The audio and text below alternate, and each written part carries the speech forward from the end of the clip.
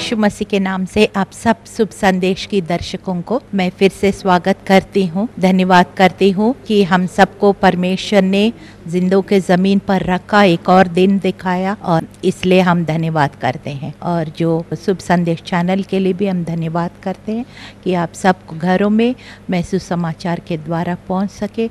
इन सारे बातों के लिए धन्यवाद करते हैं। चलिए छोटी सी प्रार्थना के साथ इस कार्यक्रम को हम शुरुआत करेंगे। धन्यवाद महान सामर्थ्य पिता राजाओं का राजा प्रभुओं का प्रभु, सारे सृष्टि का मालिक, आसमान और ज़मीन का पिता, पूरा ब्रह्मांड को रचने वाला, नियंत्रण करने वाला परमेश्वर यीशु के लहू के द्वारा हम तेरे चरणों में आते हैं प्रभु। आज के कार्यक्रम को जो प्रभु हमने तैयार किया, लेकिन बोलने वाला आप है प्रभु।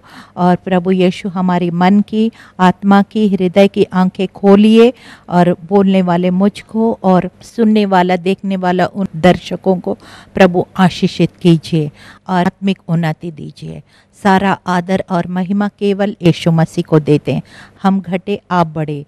यीशु मसीह के जीवित और सामती नाम में इस प्रार्थना को हम मांगते हैं। सुनिए, ग्रहण कीजिए।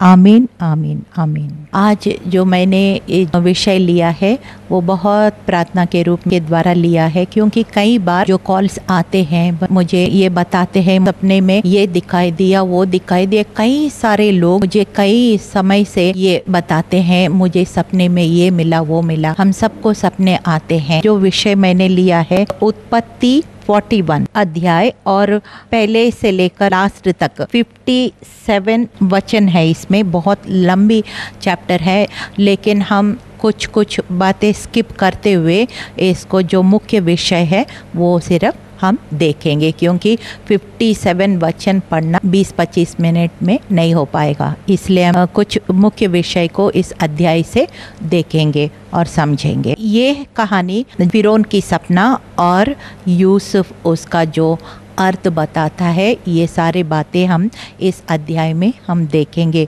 यूसुफ का कहानी आप लोग बहुत लोग सुन चुके होंगे और बहुत अच्छी कहानी है। यहाँ पे मैं कि पृष्ठभूमि थोड़ा सा बताऊँगी कहाँ से ये कहानी शुरुआत होता है। आपको सबको पता है, यूसुफ को, उसके भाई लोग ने उनको गड्ढे में डाल दिया और उसके बाद उसको मिश्रियों को बेच दिया। मिस्र देश में जाकर वहाँ पे सत्रह साल का उम्र था यूसुफ का और वहाँ तेरह साल यूसुफ जो है मिश्र में बिताया है। और जो यहाँ कहानी जो शुरू होता है, वहाँ पे क्या हुआ था? इससे पहले दो लोग आए थे, एक बेकर और एक बटलर बोलते हैं, जो प्याला पिलाता है राजा के दरबार में, और जो बेकरी का जो बिस्किट्स वगैरह आप सब जानते हैं, बेकरी क्या होता है। ऐसे बेकर, ये दो तरह का व्यक्ति उनके साथ में, उनका बंदीगृह में थे, और उनका जो सपना उसने अर्थ बताया फिर भी वो लोग दो साल तक यूसुफ को भूल गया कम्प्लीटली दो साल तक भूल गया। आपको पता है, अभी कई बार आप सोचते हैं, आपको परमेश्वर भूल गया है, लेकिन ऐसे नहीं होता है। परमेश्वर हमको नहीं भूलते हैं और वो काम कर रहे हैं। कैसे काम कर रहे हैं? क्या कर रहे हैं? हमें तभी समझ में आता है जब परमेश्वर दिखाई देता है। तो हम यहाँ देखते हैं, दो साल तक जो है, वो जो आदमी जो जिसके सपना बताए, वो भूल गया। लेकिन यूसुफ ने भी सोचा होगा, ये तो आ गया, रिहाई हो गया और राज दरबार में फिर से आ गया और फिर भी मेरे बारे भूल गया, परमेश्वर भी भूल गया, सब भूल गया, ऐसे सोच रहे होंगे।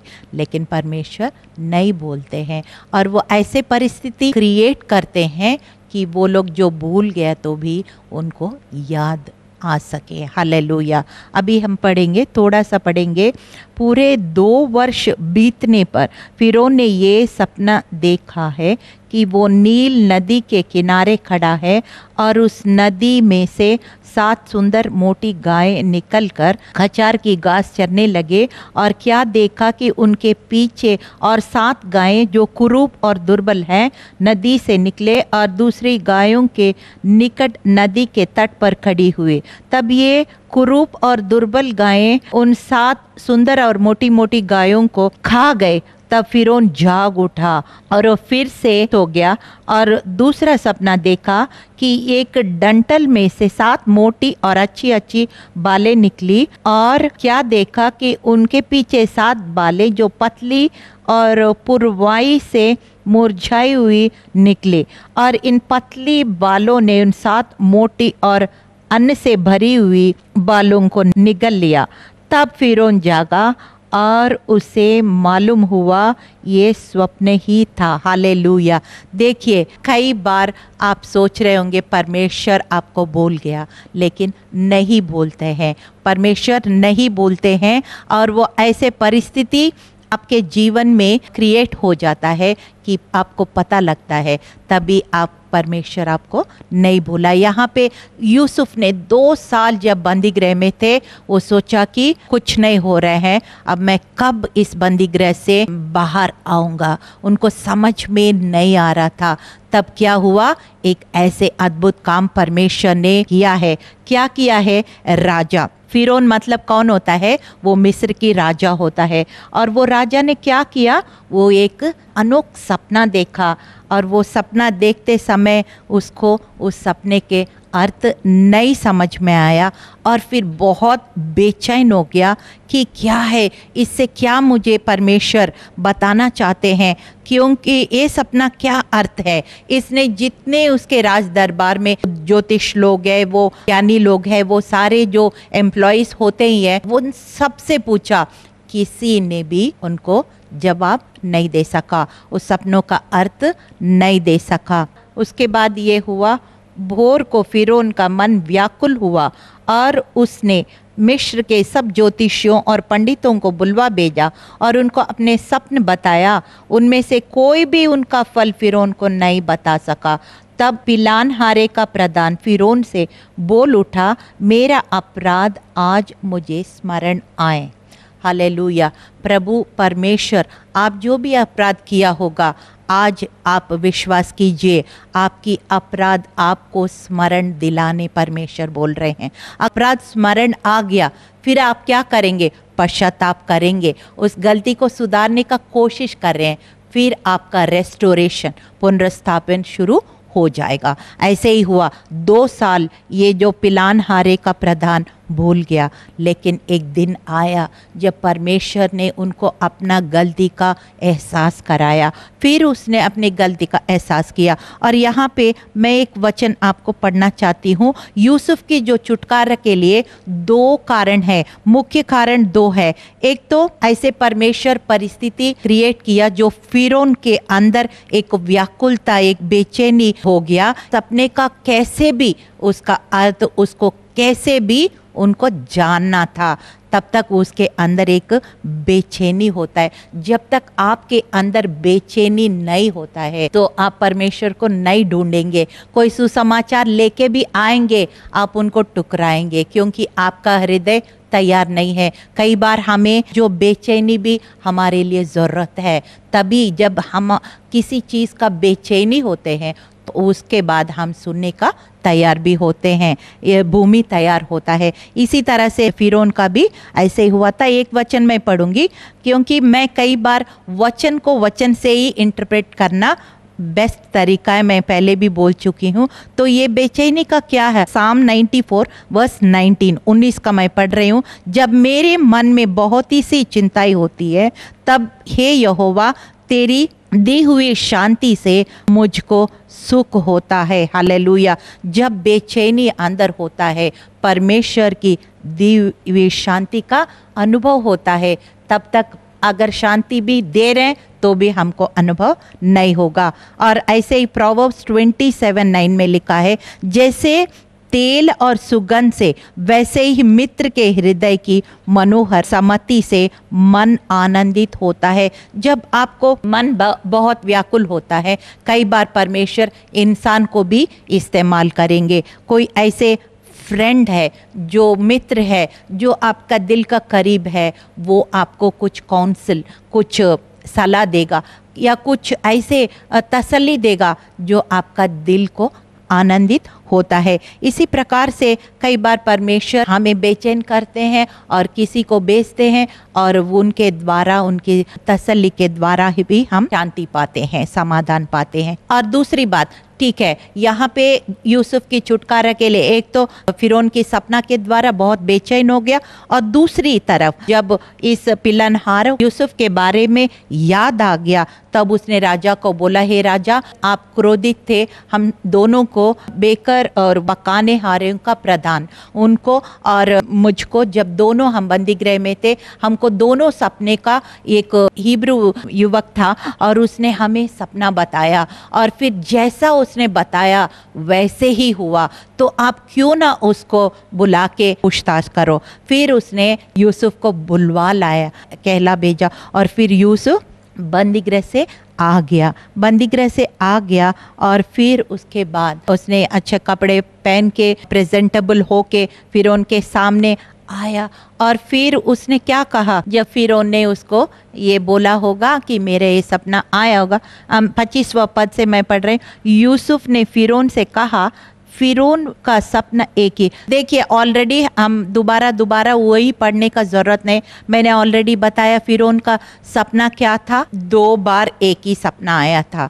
क्या आया था? मोटे मोटे गाय, सात गाय और पतले पतले गाय और पतले गाय मोटे गाय को खा गया। फिर ऐसे ही डंटल जो मोटे मोटे थे, ताज़े थे और वो पतले डंटल वो मोटे डंटल को खा गया। ऐसे दोनों सपना एक ही बार आया था। तो जब फिरौन ने यूसुफ को ये सपना बोलने के बाद फिर यूसुफ ने क्या जवाब दिया? मैं पच्चीसवा पद पढ़ रही हूँ। फिरौन का सपना एक ही है। परमेश्वर जो काम करना चाहते हैं, उसको उसने फिरौन पर प्रकट किया है। वे सात अच्छी अच्छी गायें सात वर्ष है और सात अच्छी अच्छी बाले भी सात वर्ष है। सपने एक ही है। फिर उसने दुर्बल और कुंडेल गाय निकली। उसने बताया कि ये सारे सात जो अच्छे संपन्नता अच्छा सा फ़सल होएगा और फिर उसके बाद सात साल अकाल होएगा। इसका मतलब इतना भूखमरी हो जाएगी, फिर क्या हो जाएगा? लोग इतना अच्छा समय को सब भूल जाएँगे और बहुत बुरा हाल हो जाएगा। ये सारा उसने बताया। उससे पहले उसने क्या कहा था? कि उसने परमेश्वर को ये महिमा दी। यूसुफ ने, देखिए, यहाँ जब राजा ने यूसुफ से कहा था, मैं एक सपना देखा है और उसका फल का बताने वाला कोई नहीं है। तेरे विषय में सुना है कि तू सुनते ही उसका फल बता सकता है। यूसुफ ने फिरौन से कहा, मैं तो कुछ भी नहीं जानता। परमेश्वरी फिरौन के लिए शुभ वचन देगा। देखिए, कई बार हमारे अंदर वरदान मिलता है। कोई भविष्यवाणी, कोई चंगाई का कुछ भी ऐसे परमेश्वर वरदान देता है तो हमको नहीं घमंड करना है। परमेश्वर को हमेशा महिमा देना है ना? ऐसे ही यूसुफ ने क्या किया? तो मैं कुछ नहीं हूँ, ये सपना का अर्थ बताने वाला परमेश्वर है। वही आपका व्याकुलता को दूर करेगा और वही आपको शांति देगा। और फिर एक वचन हम पढ़ेंगे, क्या बोल रहे हैं? इसका मतलब क्या है? यूसुफ अपना बड़ाई नहीं कर रहे परमेश्वर की महिमा दे रहे हैं। साम 96 का वर्स 8 यहोवा का नाम की ऐसे महिमा करो जो उसकी, उसके योग्य है। भेंट लेकर उसके आंगनों में आओ। और यर्मिया नौ का तेईस और चौबीस में पढ़ रही हूँ। यहोवा यू कहता है, बुद्धिमान अपनी बुद्धि पर घमंड ना करे और वीर अपनी वीरता पर ना घमंड करे, धनी अपने धन पर ना घमंड करे, परंतु जो घमंड करे, वो उसी बात पर घमंड करे कि वो मुझे जानता और समझता है कि मैं ही यहोवा हूँ, जो पृथ्वी पर करुणा, न्याय और धार्मिकता के काम करता है। क्योंकि मैं इन्हीं बातों से प्रसन्न रहता हूँ। हालेलुया। इस तरह से परमेश्वर की महिमा दे रहे हैं। ये जो स्वप्न का अर्थ बताना, मैं नहीं हूँ फिर उन पर मेरा परमेश्वर है। और फिर याकूब एक और सत्रह में लिखा कि हर एक अच्छा वरदान, हर एक उत्तम दान ऊपर से ही आता है और ज्योतियों के पिता की ओर से मिलता है, जिसमें ना तो कोई परिवर्तन हो सकता है और ना ही वो परछाई के समान बदलता है। परमेश्वर जब वरदान देता है, उसमें कोई बदलाव नहीं होता है। So we should concentrate on the giver but not on the gift hallelujah इस तरह से यूसुफ का जो कैरेक्टरिस्टिक्स है उसकी जो चरित्र है उसके अंदर जो उसने ये नहीं बोला कि आ, देखो मैंने बंदी गृह में उन दोनों का सपनों का अर्थ बताया कुछ नहीं हुआ। दो साल में ऐसे ही बैठे रहे। अब मैं क्यों बताऊँ आपका ऐसे नहीं बोला। ना उसने अपने मार्केटिंग किया पता है, ये सारे आपके दरबार में बैठे हैं एम्प्लॉयज़ है, आप खिला रहे पिला, मगर उसने कुछ नहीं किया, लेकिन मैं कर पाता ऐसे मार्केटिंग ये भी नहीं किया। फिर अपने आप को हलीम करके उसने परमेश्वर को महिमा दिया, और फिर उसके आगे क्या होगा भविष्य में? फिरौन उस, कैसे प्रतिक्रिया उसकी होगा, उसको नहीं पता। फिर भी उसने सेवा करने का, उसका व्याकुलता को दूर करने का प्रयास किया। परमेश्वर के द्वारा, इसलिए उसको छुटकारा हुआ। आज भी आप किसी व्याकुलता में, किसी परिस्थिति में बंदिश है तो आप यूसुफ का गुण को अपनाइए, हलीम हो जाइए, और लोगों को जितना हेल्प कर सके, सेवा भावना रखिए। यूसुफ को आगे नहीं पता, उसको पहले का अनुभव भी अच्छा नहीं था, फिर भी उसने फिर उनका सेवा करने, उनको मदद करने के लिए उसने पूरा अर्थ उसने बताया। और फिर आखिर में परमेश्वर को भी महिमा दिया। देखिए, ये अर्थ है, सात साल संपन्नता, सात साल अकाल, और वो लोग जब संपन्नता का समय भूल जाएँगे, भूखमरी हो जाएँगे, इतना बुरा हाल हो जाएँगे, तब क्या होगा? इसलिए क्या करना है? आपको वन फिफ्थ, यानी कि बीस प्रतिशत जो अनाज है, वो सब कुछ आपको स्टोर करना है। देखिए, हर एक सपना में जो परमेश्वर हमें प्रोफेटिक ड्रीम देता है, उसका एक एप्लीकेशन पार्ट होता है। इसका मतलब क्या है? हमें ये कई भी वचन पढ़ रहे हैं तो भी हमको ये देखना है। कई सपना आते हैं तो भी आपको ये देखना है। ये सपने के द्वारा परमेश्वर मुझे क्या सिखाना चाहते हैं? और फिर दूसरा पॉइंट मैं ये बताना चाहती हूँ, जब आपके सपने खत्म होके आप जागते हैं तो आपका इमोशंस कैसे है? भावनाएँ कैसे है? आपको डर लग रहे या आपके दिल में शांति है? ये इमोशंस को भी आपको पहचानना है। और तीसरी बात, उस सपने के द्वारा परमेश्वर मुझे क्या एप्लीकेशन पार्ट मतलब इसको मैं कैसे इस चीज़ को क्या जो शिक्षा देना चाहते हैं, उसको मैं कैसे अमल कर सको। इस तरह से सपना में तीन हिस्से को आप सीख सकते हैं। और फिर यूसुफ ने क्या कहा कि आपका व्याकुलता दूर हो जाएगा और फिर परमेश्वर जो शांति देता है, वो दुनिया नहीं दे सकता है। क्या वचन से उसने सिखाया? जॉन फोर्टीन ट्वेंटी सेवन, मैं तुम्हें ऐसे शांति दिया जाता हूँ, अपनी शांति तुम्हें देता हूँ जैसे संसार देता है। मैं तुम्हें नहीं देता, तुम्हारा मन ना घबराए, ना डरे। हालेलुया। और एशिया 48 18 में लिखा है, भला होता कि तूने मेरी आज्ञाओं को ध्यान से सुना होता, तब तेरी शांति नदी के समान और तेरी धार्मिकता समुंदर की लहर के समान होता है। यानी कि यूसुफ फिरौन को क्या बताना चाह रहे हैं कि परमेश्वर के द्वारा जो शांति कैसे आता है, जब उनकी आज्ञाओं को हम पालन करते हैं, उनकी शांति हमें मिल जाता है। हालेलुया। और फिर यहाँ इस तरह से और फिर यूसुफ को नहीं पता, जैसे मैंने कहा था ना कि याकूब चार सत्रह में लिखा, यदि अच्छा करना जानते हो, फिर भी नहीं करते हो तो पाप है। ऐसे लिखा है याकूब चार सत्रह में। और सबोदेशक ग्यारह का एक में लिखा है कि रोटी पानी पर फेंक दो cast your bread on waters and you will find after many days इसका मतलब क्या है कि मुझे पहले ये वचन समझ में नहीं आती थी अब मुझे समझ में आता है। Cast your bread on waters मतलब किसी भूखे को हम खिलाने से फ़ायदा, लेकिन पानी में डालने से क्या फ़ायदा?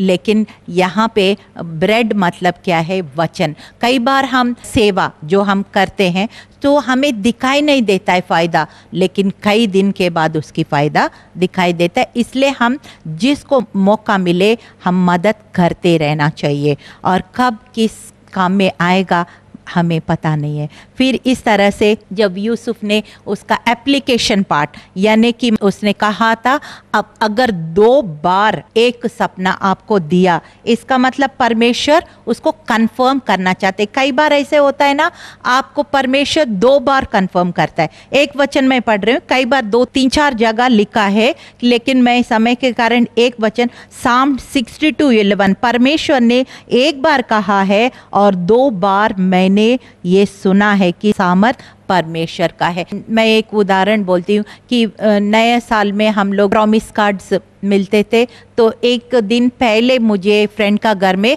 प्रॉमिस कार्ड मिला और वही प्रॉमिस दोबारा संडे चर्च में सुबह वही सेम मिला। तो इस प्रकार से परमेश्वर कई बार अलग अलग तरीके से दो बार आपको कंफर्म करता है। फिर आपके अंदर पता लगता है कि ये सचमुच में परमेश्वर मुझसे बात कर रहे हैं। यहाँ फिर से भी दो बार परमेश्वर ने एक ही सपना दिया था। और फिर यहाँ पे यूसुफ ने बताया कि कैसे इस परिस्थिति को हम सामना कर सकते हैं कि उसको 20 प्रतिशत अनाज को पूरा स्टोर करना है और फिर जब समय आता है कि उसको निकालते रहना है। ऐसे ही हुआ और फिर पूरा अच्छी तरह उसको प्लानिंग बताया कैसे करना है। फिर देखिए क्या होता है, कई बार परमेश्वर हमें एक स्टेप बाय स्टेप हमें उनका बड़ा प्लान को एक ही बार में नहीं समझाएगा, कि एक स्टेप एक बार हमें बताएगा। और फिर हम ओबीडियंट रहेंगे, आज्ञाकारी रहेंगे। उस स्टेप को फॉलो किया, फिर दूसरा तीर तीसरा, फिर ऐसे ऐसे करके फिर जितना हम आज्ञाकारी बनेंगे, जैसे बच्चे पजल खेलते तो पूरा पजल भर गया। उसी तरह से परमेश्वर हमें उस बड़ा प्लान को पूरा करते चले जाएँगे। अगर हम फ़र्स्ट स्टेप नहीं सुनेंगे तो फिर दूसरा स्टेप हमें नहीं मिलेगा। इसी तरह से हम देखते हैं यूसुफ ने पूरा प्लानिंग अच्छी तरह बताया। उसको पता नहीं आगे क्या होना है, लेकिन फिर भी बताया। जब उसने बताया, राजा को बहुत अच्छा लगा और फिर उसने कहा कि एक व्यक्ति को ढूंढिए ताकि ऐसे करने से फिर ये परिस्थिति को आप आराम से सामना कर सकते। फिर देखिए फिर ने कहा कि इतना अच्छा व्यक्ति कौन हो सकता है जो समझदार और तेरी आत्मा जिसके अंदर हो, अब तुम ही बन जाओ। हालेलुया।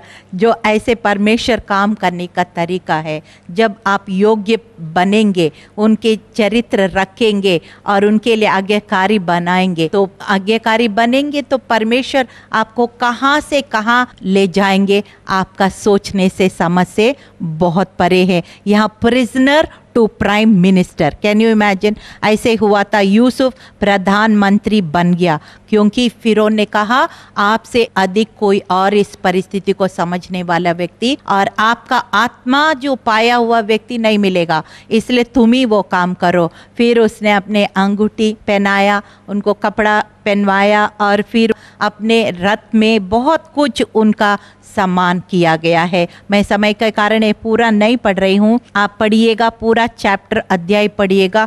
कहाँ से कहाँ परमेश्वर यूसुफ को बदल दिया। प्रिजनर टू प्राइम मिनिस्टर और फिर वही सिर्फ़ नहीं, उसने पहले यूसुफ को शादी भी हो गया और फिर उनको दो पुत्र हो गया। पचासवीं में से पढ़ रही हूँ। अकाल के प्रथम वर्ष आने से पहले यूसुफ को दो पुत्र योन की याजक पोती पोतीफरा की बेटी आसनत से जन्मे। यूसुफ ने अपने जेटे का नाम ये कह के मनेसा रखा कि परमेश्वर ने मुझसे मेरा सारा कलेश और मेरा पिता का सारा घराना बुला दिया। दूसरे के नाम उसने ये कहकर एफ्रेम रखा कि तुम मुझे दुख भोगने के देश में परमेश्वर ने फलवन किया है।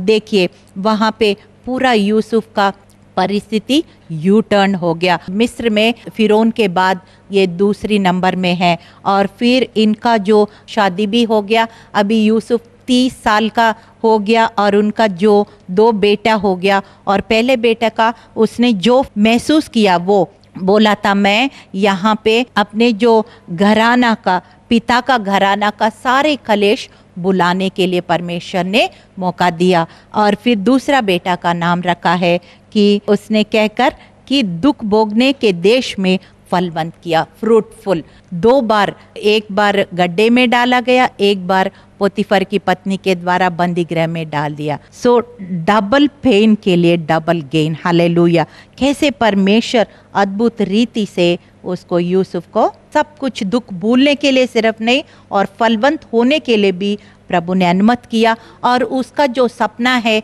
वो पूरा अभी हुआ नहीं है। जैसे जैसे जैसे वो ओबीडियंट होता गया और आधा ही हुआ और जो ओरिजिनल यूसुफ का सपना, वो अभी पूरा होने वाला है। इसलिए समय पे सब कुछ परमेश्वर सुंदर करेगा। हम क्या करना है कि उसको स्टेप बाय स्टेप हम आज्ञाकारी होते रहना है और उनके बातों को मानते रहना है। और एक वचन मैं पढ़ के सम, इस कार्यक्रम को समाप्त करूँगी। तुमने मुझे नहीं चुना, परंतु मैंने तुम्हें चुना और तुम्हें ठहराया ताकि तू जाकर फल लाओ और तुम्हारा फल बना रहे कि तू मेरा नाम से जो कुछ पिता से मांगो, वो तुम्हें देगा। हालेलुया। ऐसे ही फिरौन ने क्या इतना उनको सम्मान किया कि यूसुफ जो है टाइप ऑफ़ क्राइस्ट वो जेंटाइल से हम यीशु मसीह के यहूदी से मिल गया, ऐसे ही यूसुफ जो है, फिरौन की जो स्त्री है उससे मिल गया और फिर वहाँ पे दो बच्चों का बाप बन गया। इस तरह से यूसुफ जैसे जीवन आपको भी प्रभु सारे दुख भूलने का और फिर फलवंत होने का और ज़रूर आशीष देगा। चलिए हम प्रार्थना करते हैं। धन्यवाद महान सामर्थ्य पिता। हम धन्यवाद करते यूसुफ के जो गुण हैं हमारे अंदर होने पाए प्रभु। जैसे यूसुफ का दो बेटे हैं और जैसे उस यहूदी होके भी प्रभु एक अन्य जाति स्त्री से विवाह किया और दो बेटों को पाया और उनका नाम ये रखा, मैं पिता का घराने के सारे दुख मुझे भूलने के लिए अपने सहायता किया। और दूसरे बेटा एफ्रेम नाम रखा, इसका मतलब वो ऐसे जगह में भी तूने फलवंत मुझे कर दिया। सिर्फ़ दुख भूलने के लिए सिर्फ़ नहीं, मुझे फलवंत भी बनाया। ऐसे भी हमें फलवंत बना दीजिए। फल हमारे अंदर बने रहें, क्योंकि हमने आपको नहीं चुना, आपने हमको चुना।